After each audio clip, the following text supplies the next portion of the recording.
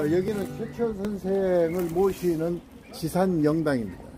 네, 최천 선생은 음, 바로 예, 경주 출신이라고도 하고 어, 전라북도 옥구 출신이라고도 하는데 예, 여하튼 두 군데에서 태어난 것은 확실한 거예요.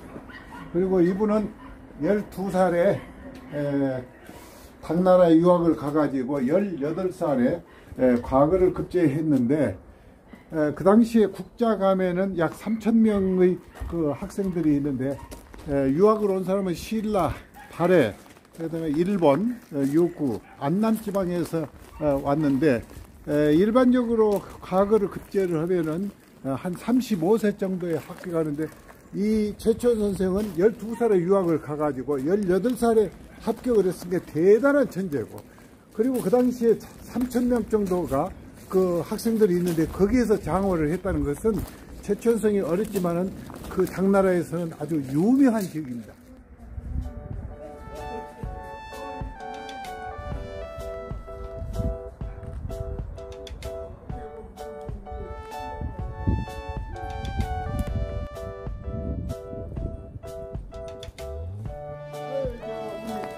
경기체시 정치 회장도 하신 우리 또, 또 우리 문중희 또 대표님 우리 저 반갑습니다. 관광의 전문가 우리 박수채 회장님도 계시고 반갑습니다. 네, 오래, 오래 반갑습니다. 원래 최치원 선생님이 그 서안에서 있다가 과거를 급제하고 어디로 가냐면은 낙양으로 갑니다. 예. 낙양에 가서 이제 시, 금체시를 이제 공부를 하고 그때 지은 시가 아, 추야우중이라는 그 유명한 어, 시를 지었는데 그게 우리 중학교부터 그, 에, 나오는 거예요.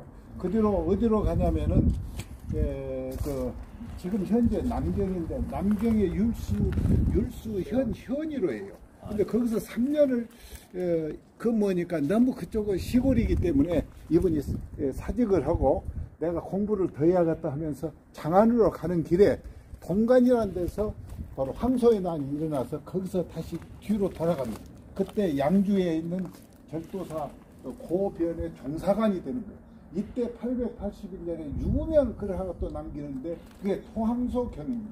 토항소경은 그 황소가 난을 일으키면서 그 마류에서 그 최천 스님이 지은 글을 읽다가 떨어진 사건입니다. 이게 또 중국에서 유명한 것으로 나오고 그리고 양주에서 개원 필경이라든가 이런 어, 책을 많이 발행되어 가지고 지금 양주에 가면은 당성박물관 2층에 그 지금 최천 선생 예, 기념관이 아주 그 잘 만들어져 있습니다.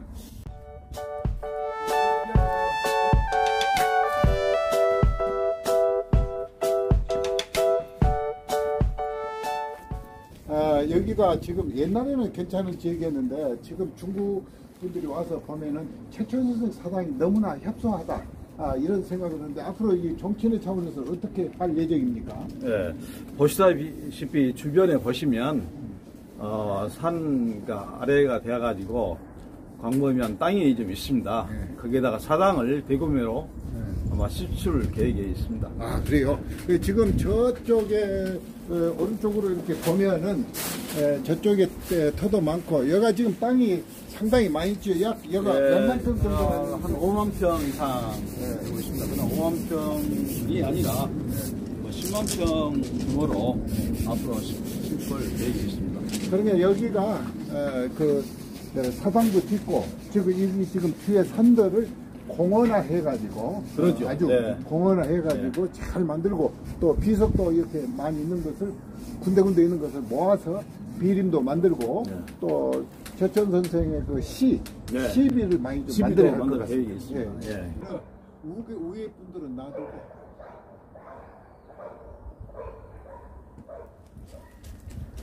에, 이 시는 에, 과거를 급제하고 나서 고향이 그리워서 지은 시입니다. 예, 추야 우중이라고 워낙 유명하기 때문에 우리나라 중학교 한문책에도 이게 나와 있는데 예, 한밤중에 비가 내리는 가운데 에, 지은 시입니다. 가을에 추풍 유고음 세로 소지음 창회 삼경우 등전 말리심이라 이건 뭔 말이냐면 추풍 가을 바람이 오직 쓸쓸히 읊는다. 이게 이 추운 겨- 가을에 쓸쓸히 바람이 불어오고 새로 소지음 세상 사람들이 나를 알아주는 사람이 없구나. 지음이란 말은 나를 알아주다 이 말이에요. 예, 창에 삼경우요.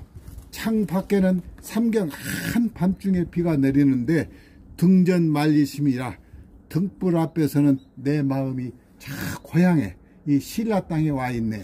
아 이거 엄청난 시입니다. 다시 한번 하겠습니다. 추풍 유고음 세로 소지읍 창에 삼경우요 등전 말리심이라. 이 차가운 가을바람이 쓸쓸히 불고 있는데 세상 사람은 나를 알아주는 사람이 하나도 없구나. 지금 당나라에서 있는데 자기 혼자 와 있으니 세상 사람이 나를 알아주는 사람이 없다 말창 밖에는 한밤중에 비가 내리고 있는데 등불 앞에서 내 마음은 고향에 있는 만리에 있네 이게 참 어, 우리가 상상을 못할 정도로 잘 시, 시입니다 그리고 어, 이 시는 2013년 어, 시진핑 중국 국가 주석이 우리나라에 와가지고 읊은 시입니다. 이것도 유명한 시인데 이거는 에, 이거는 이제 최천 선생이 이제 거기를 마치고 당나라에서 좀 더 있으려고 했는데 당나라도 나라가 황소의 난이 일어나고 나라가 이제 어지럽기 때문에 신라로 돌아오죠.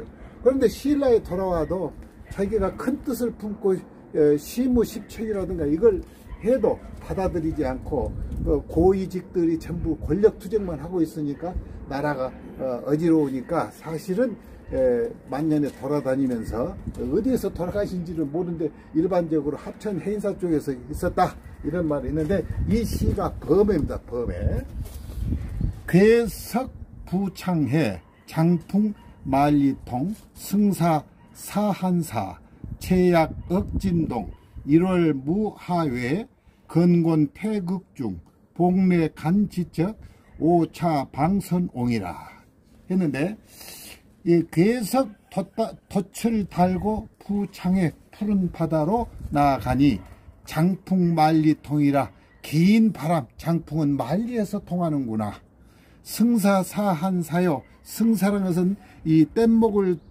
타 보니까 한나라의 사신이 생각난다. 이때 한나라 사신은 서역으로 가는 장건이라는 사람이 은하수를 타고 간 것을 생각하고 채약 약초를 캐는 것을 보니 억진동이라 옛날 진시황 때 서복을 시켜서 그 아이들을 데리고 어 제주도로 가는 것이 생각나는구나.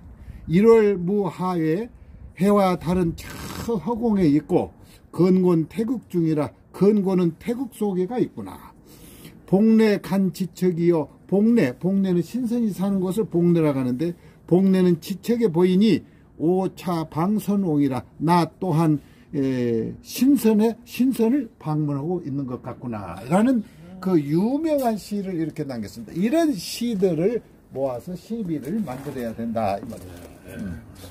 우리 저 관광의 대부이신 우리 나승채 회장님을 만나게 됐는데 이 지역을 관광 별도화하면 어떻겠는가? 어떤 방향으로 했으면 좋겠는가? 한번 말씀을 해주시기 바랍니다.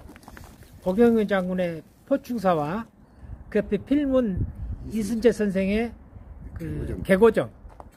거기 그 개고정 축제를 같이 묶어서 이곳 지산제 사당도 크게 지금 세울 계획이 있다니까 한 묶음으로 묶어서 어, 개발을 하면 어, 외지인들 또 중국인들도 오셔서 한 번쯤 다녀가는 것에 큰 의미가 있지 않겠는가 이렇게 생각을 해봅니다. 네.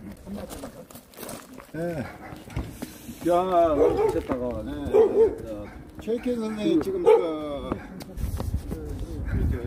광주 뭐라고 하는 거 홈페이지라든가 이런 것도 지산제 관련된 내용들에 대해서 좀 더 그 최천 선생이 태안 현감으로 와서 있을 때 그 피항정, 호남 제일정자는 피항정도 짓고 그분을 모시는 지금 사당이 에, 지금 정읍 칠보면에 있는데 에, 그 사당이 그 무성서원입니다. 그리고 태산사회가 모셔져 있는데 이 무성서원은 장성에 있는 피람서원과 마찬가지로 호남에서 딱 두 개 유네스코에 그 등록이 된 에, 문화재로 대단하고 그리고 이제 최천 선생 후손 중에서 우리나라 조선 어, 말기에 가장 유명한 최익현 선생이 바로 의병을 일으킨 것도 거기서 일으키고 마지막에 그분이 대마도 그 수선사에서 이렇게 에, 에, 생을 마치게 돼 있는데 그 최익현 선생도 그 전에 여기까지 오셔서 이렇게 에, 제사를 모시고 간 기록도 있습니다. 그래서 훌륭한 이 곳이니까 에, 그런 저 전라북도하고 이 강주하고 연결된 에, 고리로 만들어서 최천 선생의 호남 관광 배틀권을 만들어서 에, 이렇게 만들면 좋겠고 금방 말하는 우리 나승치 회장님께서 그 고경명 장군의 포중사하고 필문 이선재 선생의 그 고개정수 축제라든가 이걸 하나의 관광 벨트하면 좋겠다 이런 말씀을 드렸습니다.